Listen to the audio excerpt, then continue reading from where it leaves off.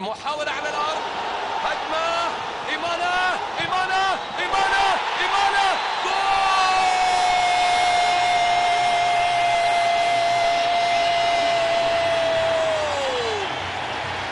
أكيل إيمانا أكيل إيمانا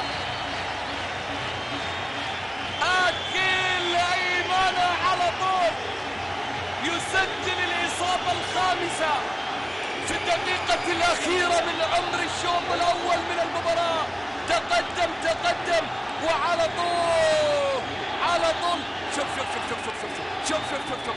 حطها حطها ولا أحلى حطها ولا أحلى. شوف لما تقدم أكيد شوف لما تقدم إيمانا. وعلى طول ابن الأثرياء الكاميروني يسجل الهدف الخامس في مرمى النجعي.